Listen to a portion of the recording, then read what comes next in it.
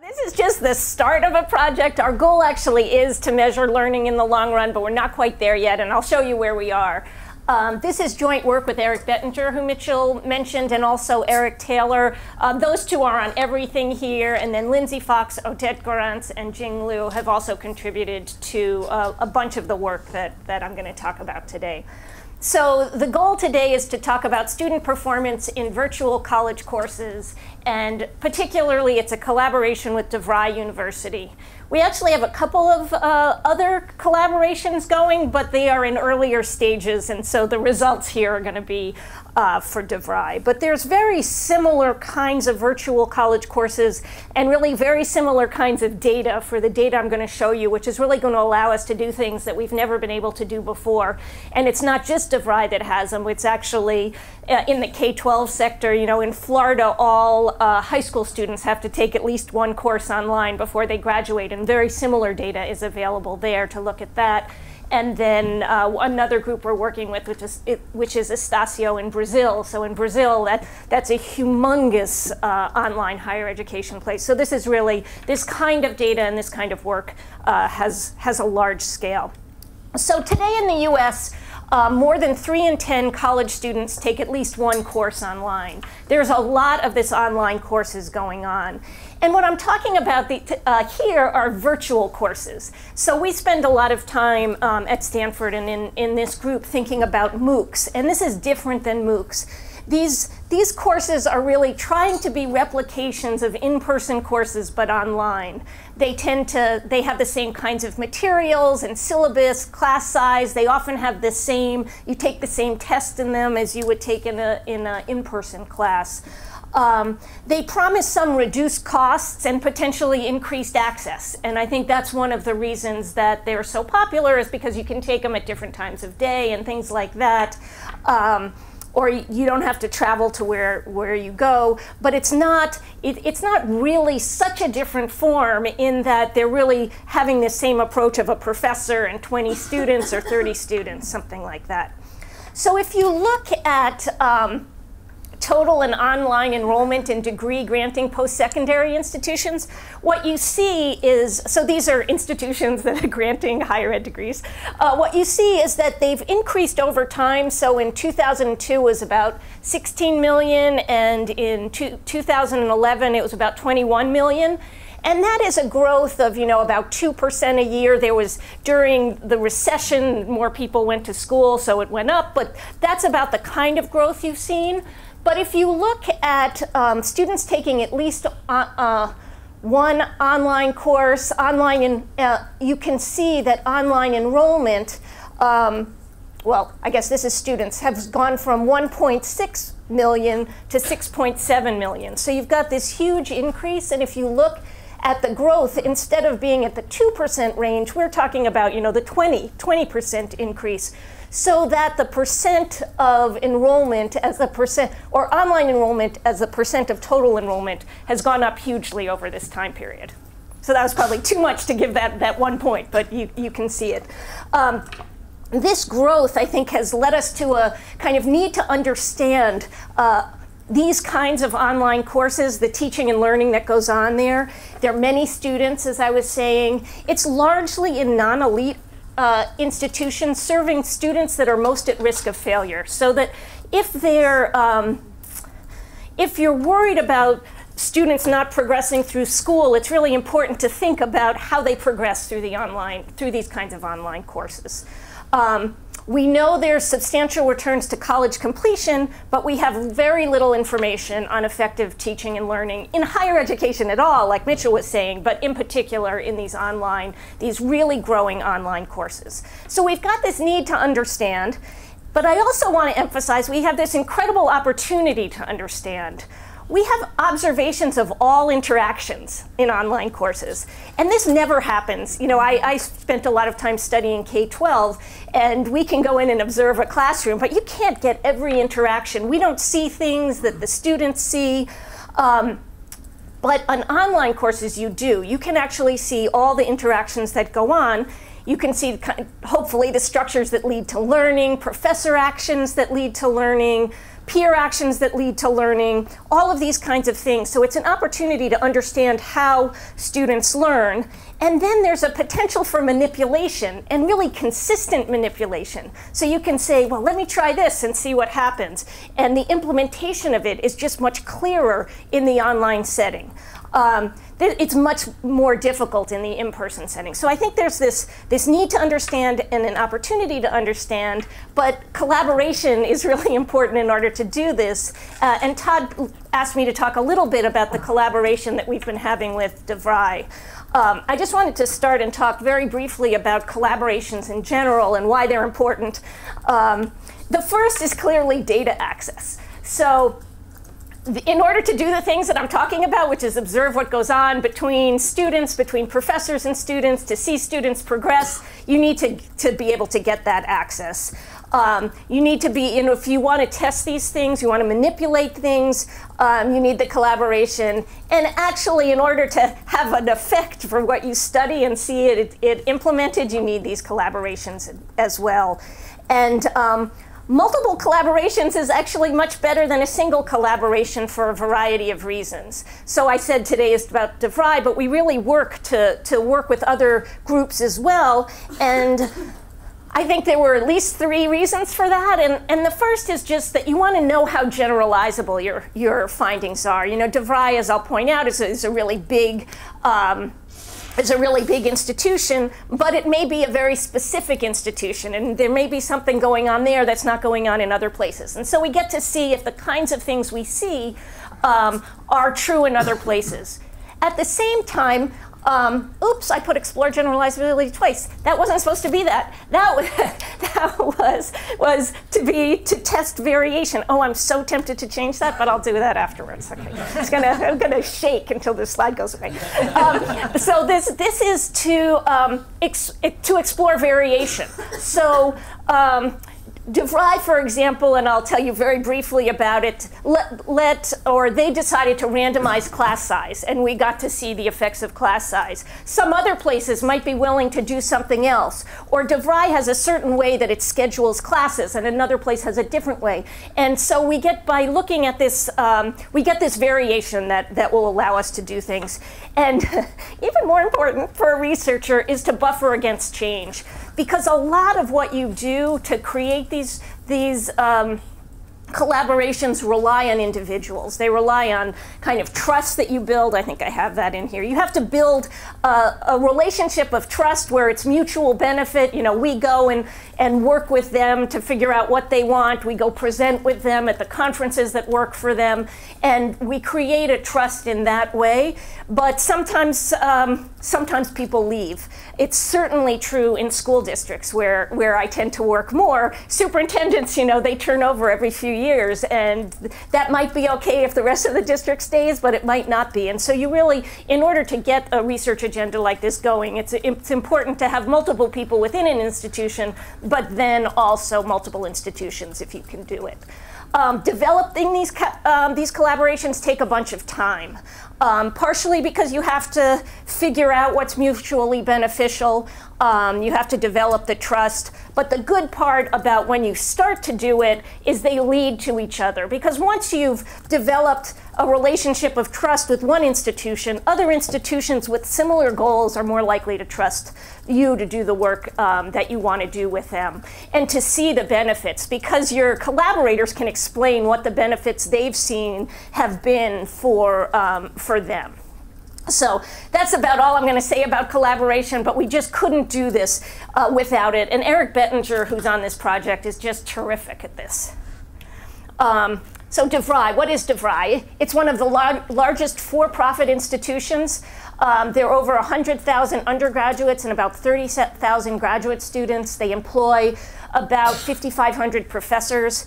It's 5% of all for-profit undergraduates, and, and that compares to the University of Phoenix, which enrolls just over 10%, and they're the biggest.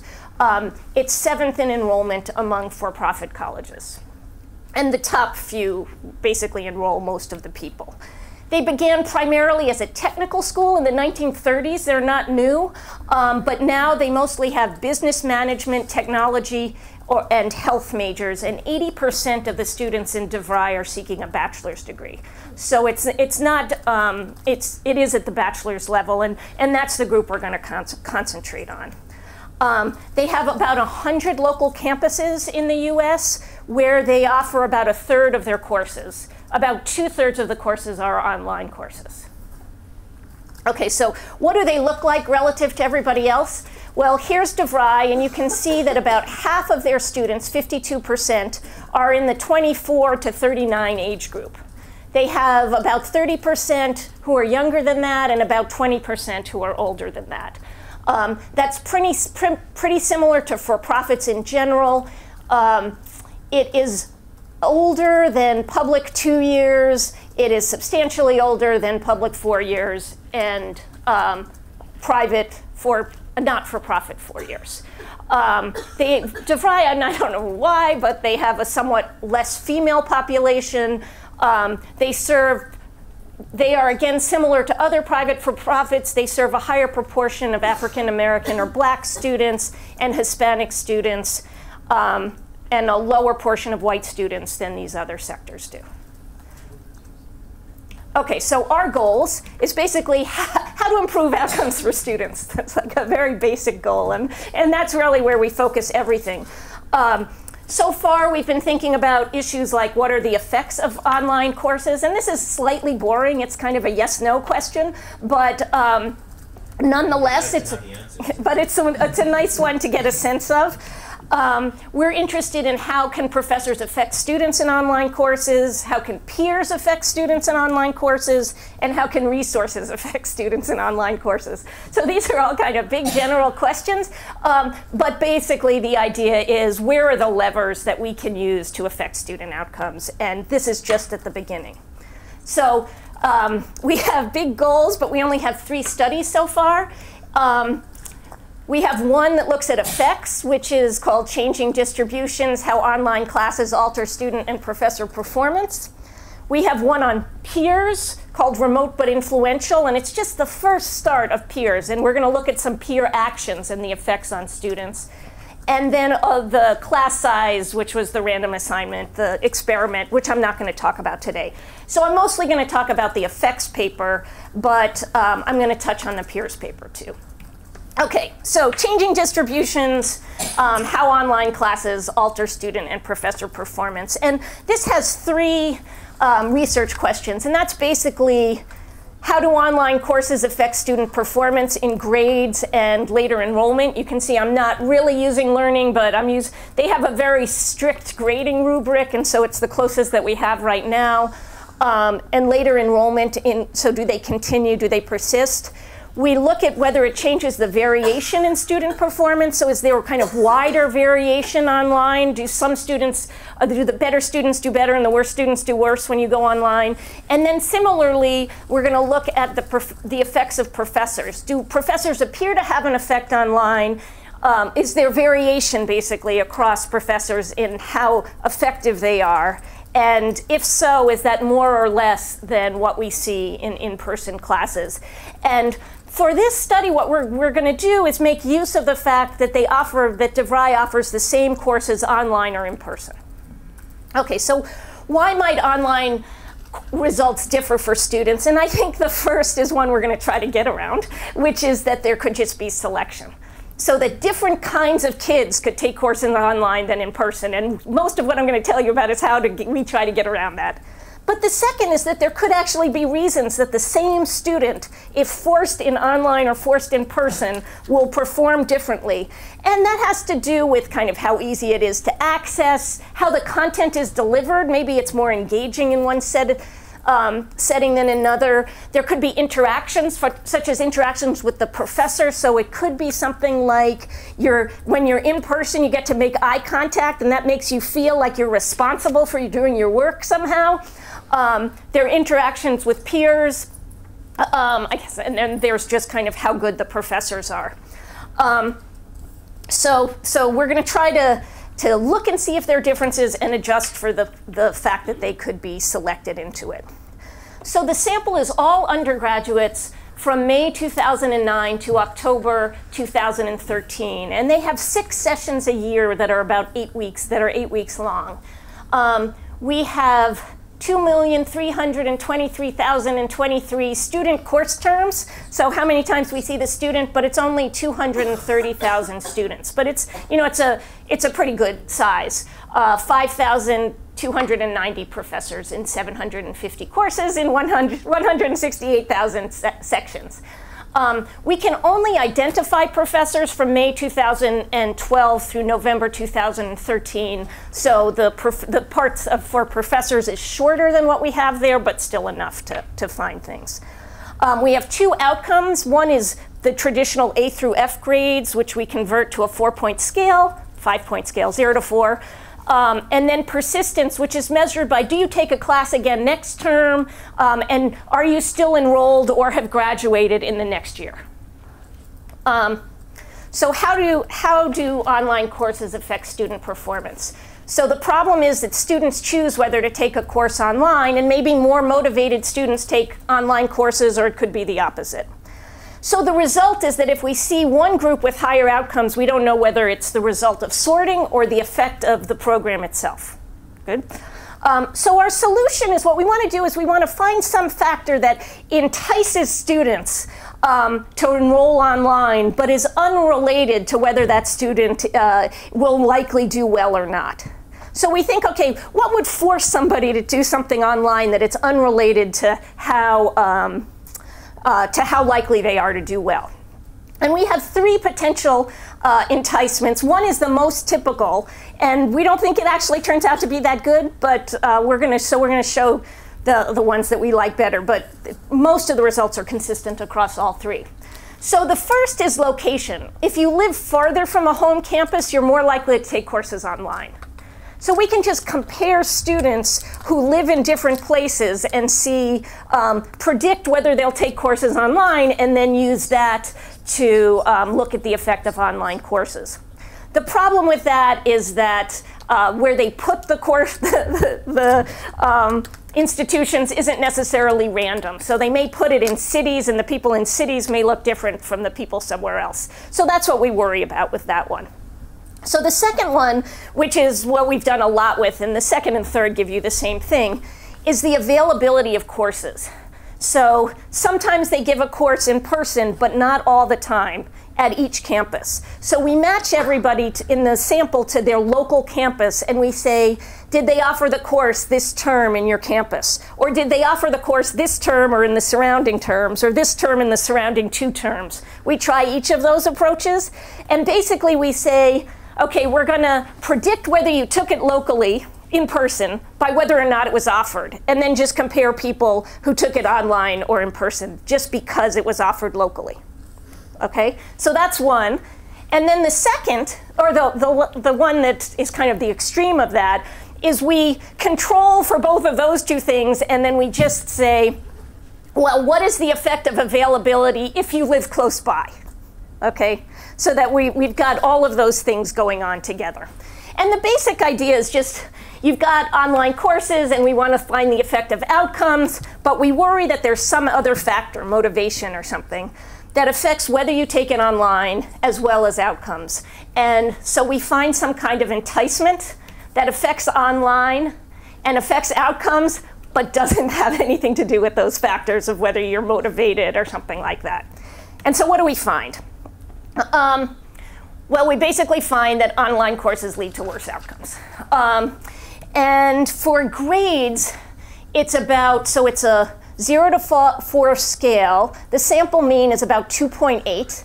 Um, that's the average uh, test score, or sorry, I'm so used to test scores, the average grade that people get. And there's a standard deviation of 1.3 um, grade points. And the change is your, four, your 44, uh, 0.44 points lower.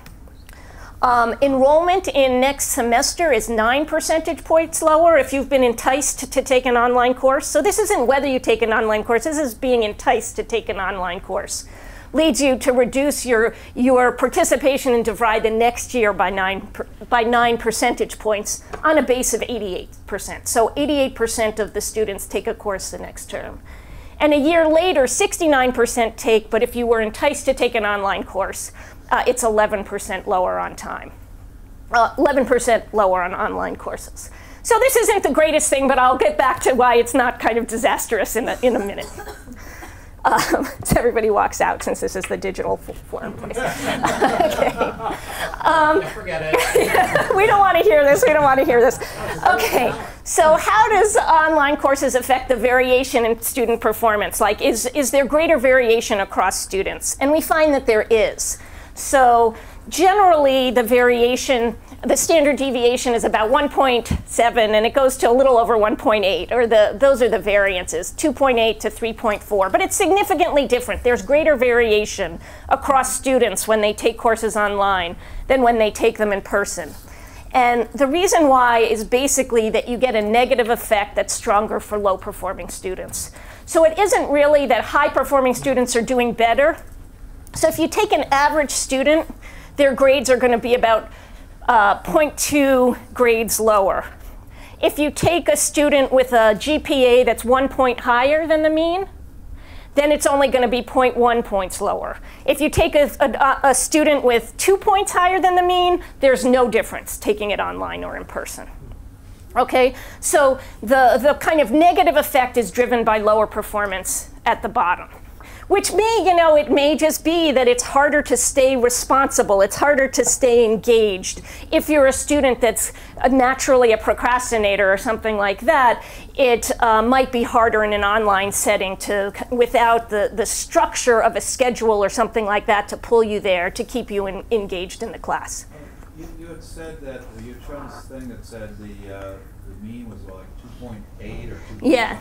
How do you get two points higher than 2.8? so this is just to, to give you a sense of how this changes as you go. So this could be this could be one point below average, and then it would be 0.3. That's one point above, you know, then it would be 0.2, 0.1. So that's that is true.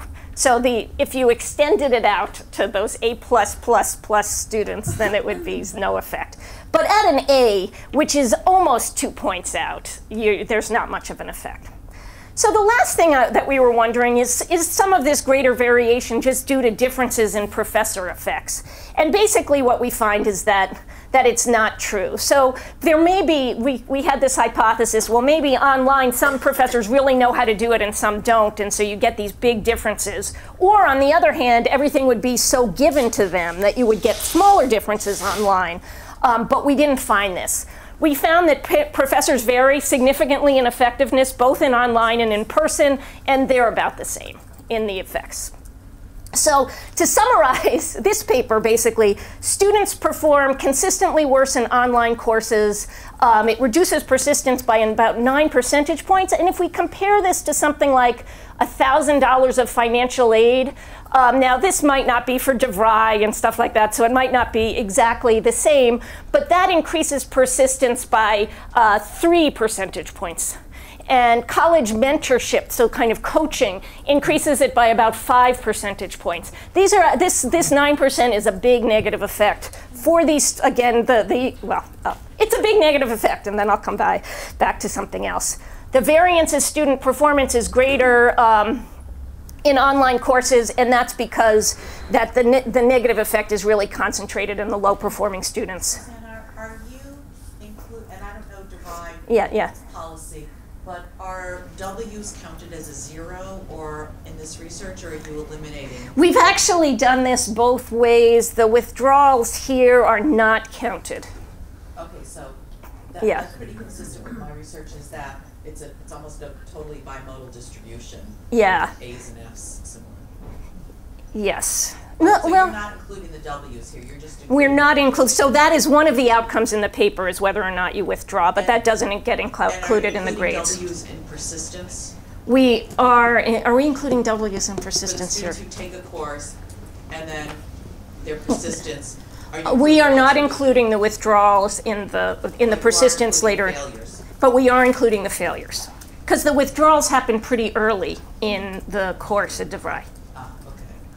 Um, and we're, we don't see that professors matter to this. Like that doesn't seem to be what's driving the greater variance. So, so basically, our question was this kind of doom and gloom for online courses, and I just want to convince you, not that you'll need it, uh, that it's not really. Um, and I think the first reason that it does show that online courses are less effective for lower scoring students who take both online and in person courses. These are students who were enticed into online courses because of a lack of availability in their in their campus. Um, so so why wouldn't this be a, a, problem? First, there could be cost savings. They'd have to kind of change the way they're implementing the courses because right now they're the same size online as they are in person.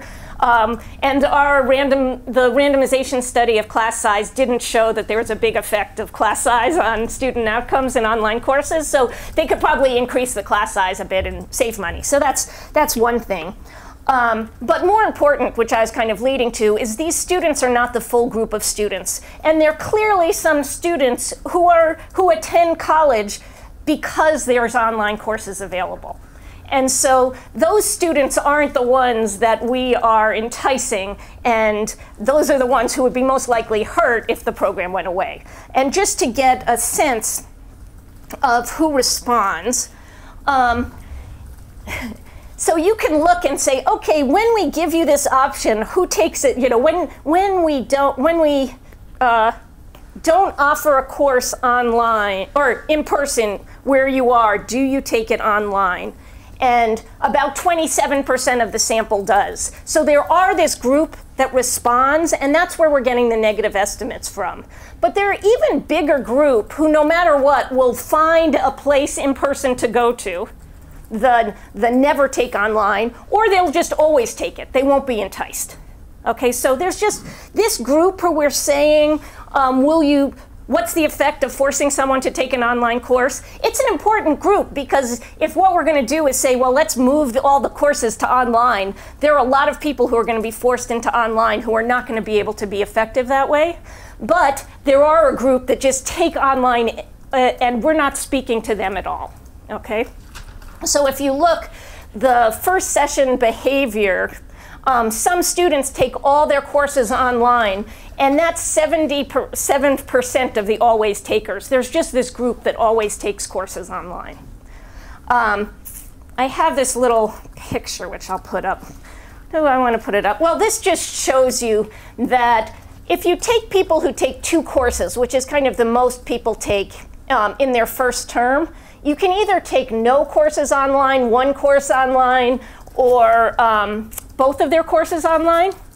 And you can see that the ones, this follow the blue that's here, if they take no courses online, slowly they're going to take more courses online. So some people move towards online courses. If they take half, then they're pretty much taking both their whole time through. But if they take a course online, to all their courses online to start with, almost all of those people just stay taking online courses. Okay, so we're really not talking to these kinds of people. We're talking to these folks who, who show some propensity for taking both. And they're an important group to be considering, and online courses is having a negative effect on them. Um, the last thing to think about is that we could actually be more effective in the online courses to try to reduce the, the negative effect. Um, and this is what leads to, to the work that we're doing now, which is to try to figure out what kind of draws people in to online courses. Okay, so potential impl implications. You want to watch students who need greater oversight than typically online. Some of the things we're thinking about are things like predictive analytics that would allow you to figure out which student's likely to fail and then put resources there to keep him or her in. Um, and some examples of this, which they're thinking about, are coaching or clear scheduling. I love this thing that they are that they're working on, which is to give all the students who demonstrate preferences for in-person classes a schedule that would meet their their desires for the degree, but would allow them to take courses in person. Um, in, uh, in this particular order, in this particular term. So, in some ways, it encourages persistence um, for students. Okay, but anyway, before uh, this was the main thing I wanted to talk about, but I wanted to tell you a little bit about the peers because I think, you know, getting into this data is crazy. Right now, we're getting a data dump every day of every interaction that goes on and we haven't this hasn't been happening long enough to, for us to really get this together. So i'm going to talk about peers in two courses. But um, the, the data is, is piling up here now so that within a few you know a couple of months we'll be able to look at this for everyone. And what, what i think we'll show here is just that it's got potential to help us understand things. Um, so peers. I just wanted to give a quick background on my thinking about peers is that um, the productivity of individuals depends a lot on whom they're working with. And I think we all take this kind of for granted, but it's really true in online as well as in person. And there's been some work, as many of you probably know, more in the business sector that's shown this. In higher education, there has been very little work on this, or none that we know of in online, but there's a growing literature that shows that peers are really important um, in college. So, who's in your work group, who's your roommate, who's your college roommate determines what, um, uh, how well you do. And, um, but to date, there's very little evidence um, whether peers uh, affect students the same way that they do in regular college courses as they do in online course uh, college courses, and the mechanisms may be different online than in person. Um, so it's it's kind of important to understand the online sector for this, and I'm basically giving you the same talk as as I did in the beginning, which is it's cool to understand online because online may be different, but it's also cool to understand online because online allows you to understand peers in a way you never could in other sectors, um, and in particular, that in online, you can actually observe what the peers do. In all this other literature that I was telling you, ab- telling you about in higher education, it's all like what was their test score in, in uh, English or something? What are their verbal skills? It doesn't say what they do in the interactions. Here we can look at the interactions. Um, so most prior work focused on verbal SAT scores. There is less or hardly any work on peer actions. And there was just starting off here, there was a billion things we could do, and we were like, here's all the text that have been. That was just overwhelming. So I'm not going to talk about text at all right now, even though we've got this big group that's focused on it.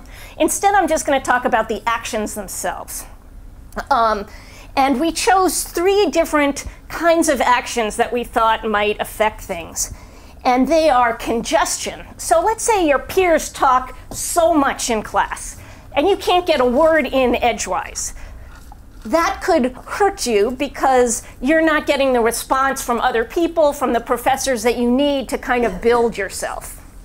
On the other hand, kind of directly opposed to that, if you have lots of peers who are very engaged and posting a lot, maybe it would be positive.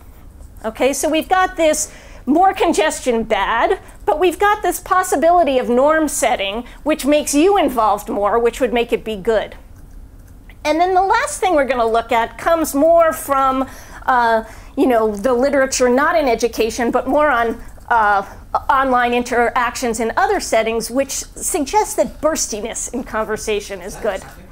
It, it is a term that's been used in papers, which is basically short conversations that follow, or, or short statements that follow each other, so that people are posting right next to each other. Since these, the students can post, um, you know, all week, they have all week to post. Would it be better if a conversation seems to be going on um, among your peers?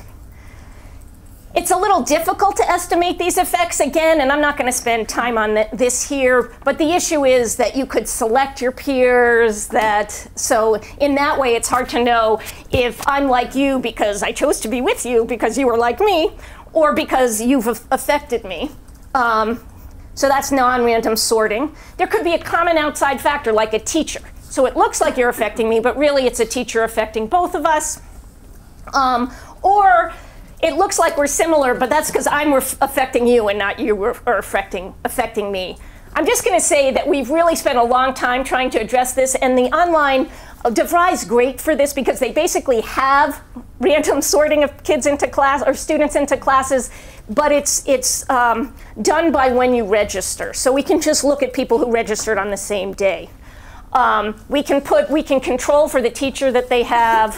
Um, and what we do is we look at people's first thing, first action that they take and use that to look at their effect. So if my peer acts before I act, I know that the peer hasn't been influenced by me. Okay, so what do we do? I'm going to skip this settings and data. The courses, it's eight weeks. 24 students, 29 students. We're going to look at college skills and psych and a psych course. Um, and again, these courses are just like uh, the courses that that would be in person. They really try to use the same materials, the same testing, things like that. The data is interesting because we have all written communications with the person ID and the timestamp. So even though it's two courses over a couple of terms, it's 2 million it's greater than 2 million posts. Okay, so what do we find? The first thing we find is that online congestion lowers uh, student persistence in grades. So if you have students who are talking too much, they're posting these long things on up there, they're, uh, that the more words they use, the worse you do. Okay, that's, that's the first thing. Um, perhaps it's because it makes it difficult for others to respond. Um, discussions tend to lose their continuity. Individual students might get lost.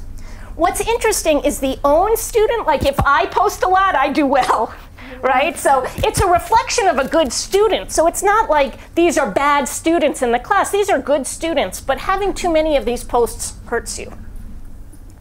Um, and it can incur both in the length and in the number. If they're just like posting all the time, that has negative effects. But burstiness has a positive effect.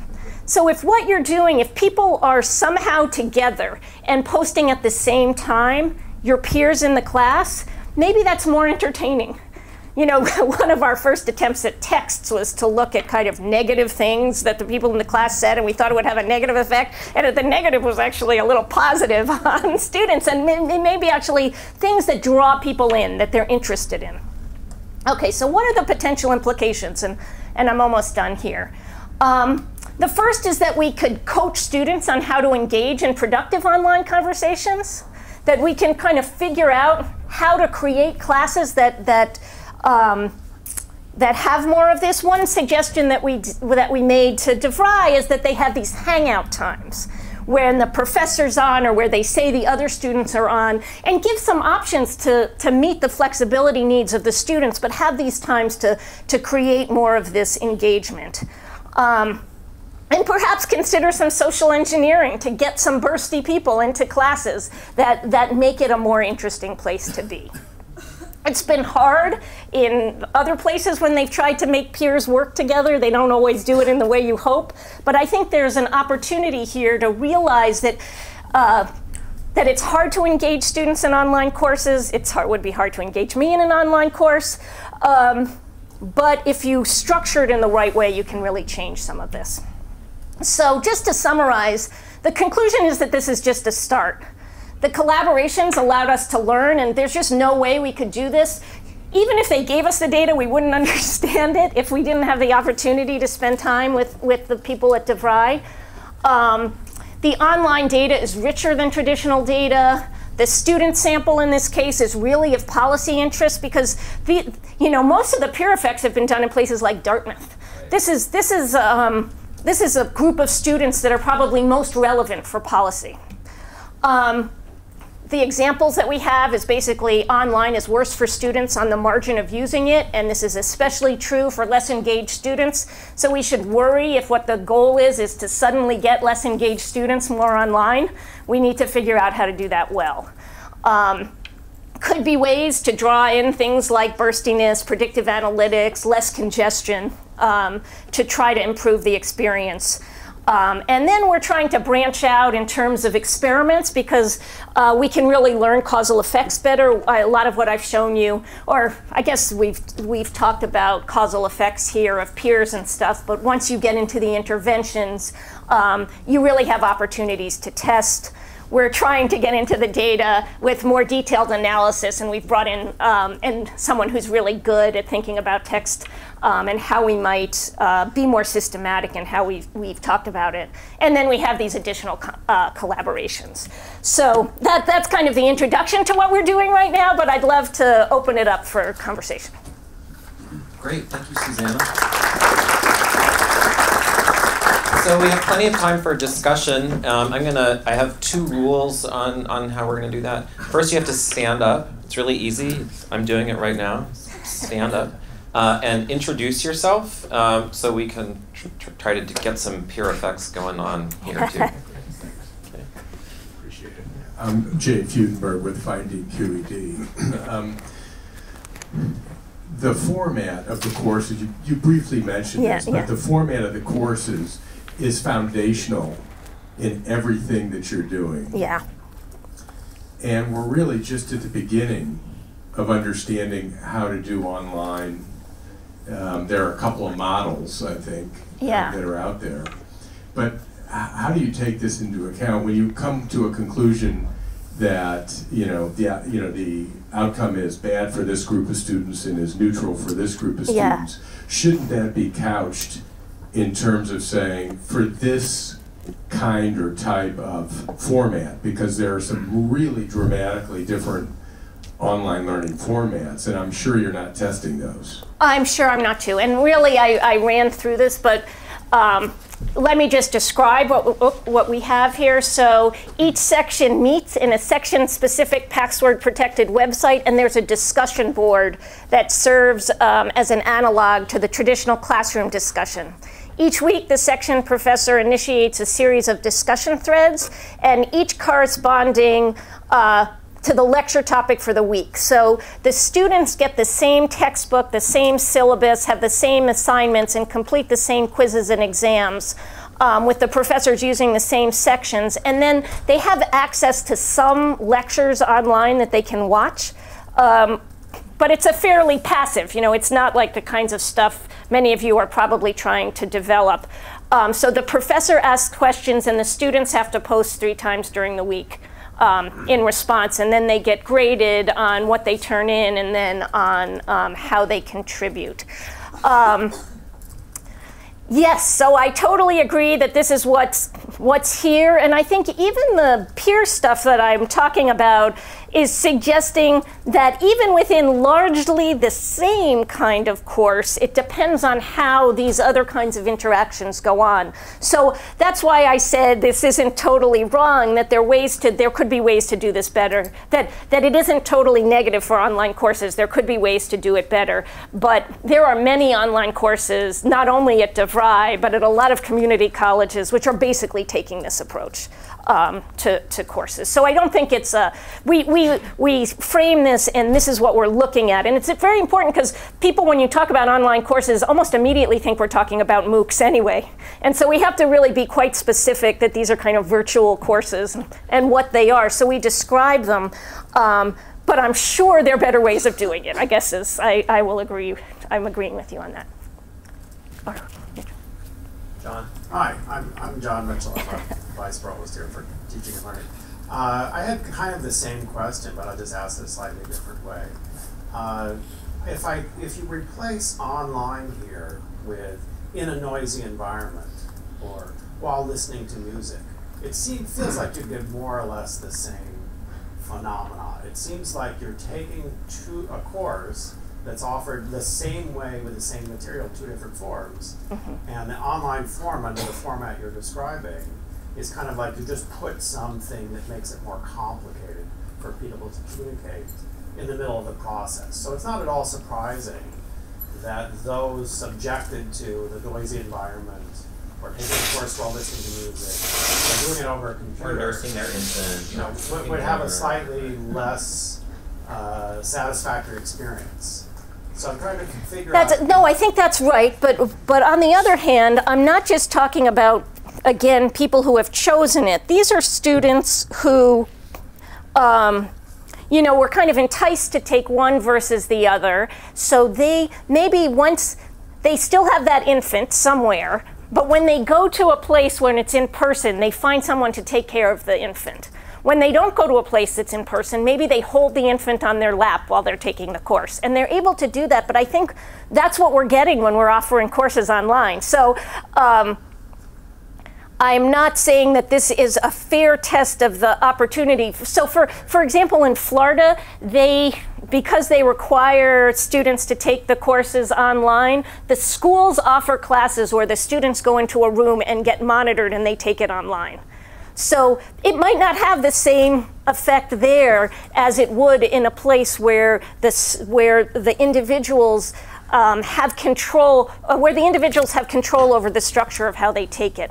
But the nature of the vast majority of online courses right now is the way that it is here, which is we're going to offer this, it'll fit into your schedule better. So, isn't this great? But for most people, they can't get, it seems like their concentration is just less strong when it's offered, when they take it online. Yeah, so, my question was going to be whether there is in your data anything that would let you look at differences that have a positive effect, such as different ways of handling the discussion, different ways of engaging students more frequently in between meetings, you know, any other thing that would uh, get at the form, the, the quality of interaction rather than the communication medium? Um, well, certain, there is pretty, in DeVry, they do almost all of their interactions this way. But I think there are two ways. One is because when we can see how the professor posts, and some of them get on once during the week and post essentially, whereas others are on and responding. So we can look at that kind of variation. So are the professors more effective? Do students do better in class um, when professors do that? One of our students right now is instead looking at peers and whether they engage other peers. So are you a peer that kind of says, uh, John, good point, you know, uh, and we just do it by whether the peer mentions your name, so it's really rough right now, but there are ways definitely of looking at that. So there's that, but then um, the DeVry itself is one of the one of the things that I think Mitchell mentioned in the beginning is that some of the uh, uh, the for-profit places have great incentives to try to get people to stay, and so they're really interested in what kinds of things uh, to do for that. So we had talked with them about things like combining professors so that they can be online at multiple times. So instead of offering 100 sections of the course, you offer fewer sections but with more professors in them to, to interact. Or some of this like predictive analytics where you look at students who probably like the student who's nursing the infant while she uh, is online and, and you say okay this is a student who might have trouble. Let me let's tell the professor about this student and make sure he or she reaches out and so I think they have those kinds of things going on, part of which we're hoping to get through to through um, the more uh, intervention, random assignment kind of assessment, but much of which we'll just have to see, you know, what do the what is the natural variation in peers and what's the natural variation in what professors do and how is that related to how the students do. I mean, I think even the peer stuff suggests to me that there are things you can do to engage people. It's just not happening as much online as it is in person. Hi, I'm David Christie. I'm a yeah. software developer and I work on uh, uh, online discussion software that has some applications in online courses. Um, I'm kind of interested in the um, interactivity, um, the social dynamic in classes. Yeah. And I want to know if there's a cor- if you found a correlation between the successful outcomes and the amount of interactivity that a participant has, uh, whether it's with the professor back and forth or with peers. But can you can you measure? Uh, can you correlate the, uh, the, the amount of interactivity that happens so, positively yeah. and negatively with, with these successful outcomes? Right, and so I think that's kind of what we tried to do in the peer stuff. And so it's it's not content, but it's timing. And there's two types of timing. One is kind of the extent of the interaction that you have, and that is positive for the individual.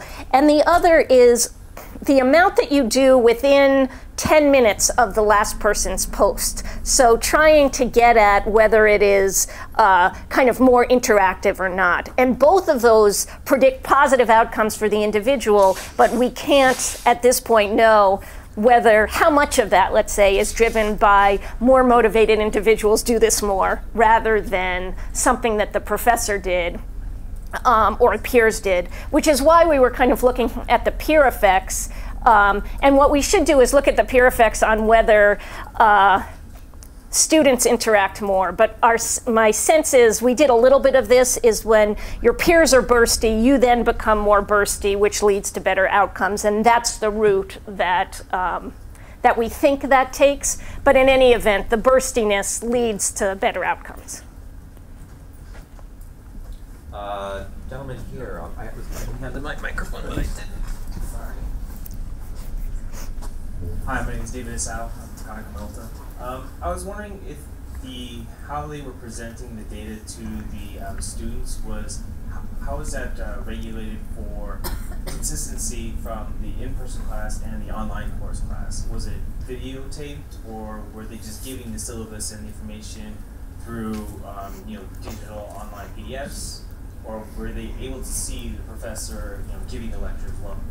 This that varies. Like so you get videos of professor lectures but the syllabus itself is up there. So i don't know in these courses um, and i wish eric taylor was here because he's been through the, the um, actual platform a lot more than i do. I don't know for these courses how many of the professors had a video of them going over the syllabus or not but there were videos of the content of the course. And then they all have the same textbook. Um, have the interaction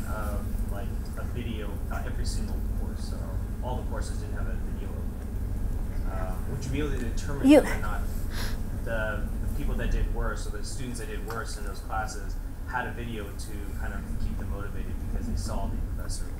Oh, oh, so they would have videos. It's just a question of what content, if it covered everything, if it covered going over the syllabus or it just covered the content of the course.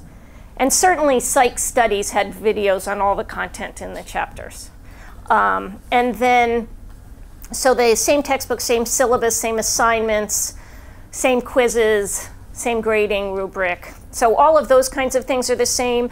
And the professors were able to see, well, online, not in person, but online, they were able to see sample questions that other professors had asked um, for each week so that they had things to build on, which we thought would really pull the professor effect in so that it wouldn't be so much variation. Um, but we just didn't find it. We still found variation across um, professors. Uh, there's got to be a, just as one thing, and I think they're worrying, they are definitely worrying about this and working on this too. One thing is that these aren't the easiest places to do inter, uh, to do kind of interactions. You have to kind of get on the website and go into it. It's not like you can text easily from your phone. And I think they're working on the platform to make the kind of interactivity better, and that would be one way.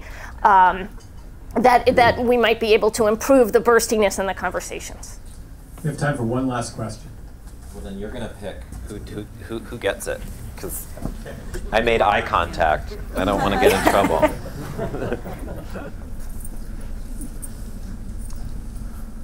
Hi, my name is David Little. I'm a web product manager. You have alluded to the fact that the teachers, there were noticeable differences between the teachers. Having the access to all the online data, are you able to get clues as to what those differences are so we, we are very much hoping that. So we're going to do the same thing for teachers that we've done for peers. Our first attempt at it was not great in either peers or teachers when we, we tried, because there's some dictionaries out there like positive, negative, those kinds of things. And what we really need to do is write dictionaries that correspond to the course, that go to the content of the course. Um, because because the the the words but you know for psych study are so strange. So we're we're going to be we're we're developing um, a group to do that but we haven't we haven't done it yet. There are probably things about the timing of the professor but we have not actually looked at that yet. Um, we do know that professors use other people's stuff because we see typos followed across professors um, over time So uh, we know they're drawing off of things, which is why we thought they'd be together, and we don't. But we don't really know what it is that separates But any simple things like quantity of communication or anything like that? The the basic quantity didn't or timing did not uh, did not relate to it. But we again we haven't spent very much time on it because we do just have these two courses, and now that we have all the courses, um, we're just waiting for this the data that's coming each day to pile up um, so that we can look at this over a range of courses. So uh, please uh, help me in thanking Suzanne. So uh, again, this uh, seminar series continues into the spring. Uh, we've got two more seminars. Put those on your calendar. And we'd also like to invite all of you to stay for a reception that's going to be happening out here in the lobby. So thank you for being a part of this seminar series.